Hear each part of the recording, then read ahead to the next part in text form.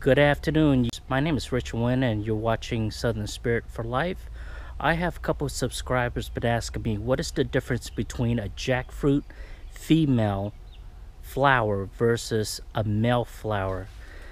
And I want to take this time to make this video to explain to y'all what is the difference between a male flower and a female jackfruit flower. Right here is a female jackfruit okay? As you can see the stem is much larger.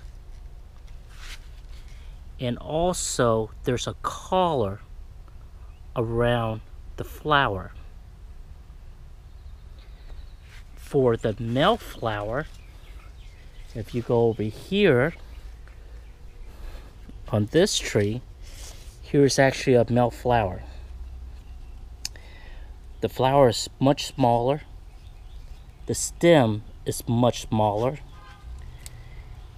And there's no collar. Okay? And this is a male flower.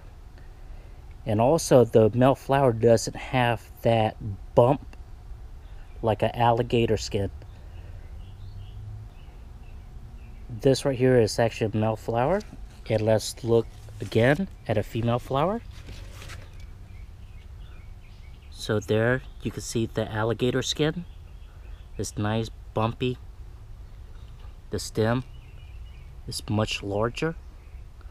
And there's actually a collar. Okay. And that is a female flower. Thank you for watching Southern Spirit for Life.